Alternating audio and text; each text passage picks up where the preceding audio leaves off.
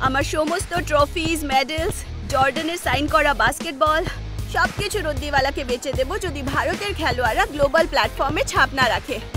বাজি রাখবি? এত কনফিডেন্স কনফিডেন্স আছে কারণ গ্যারেন্টি আছে। সেটাও মোদির। তুই বাজি রাখ না। রাখিস না ওটাতেও হেরে খেলোয়াড়দের জন্য ওয়ার্ল্ড ক্লাস সুবিধের গ্যারান্টি এইবার। আর একবার মোদী সরকার।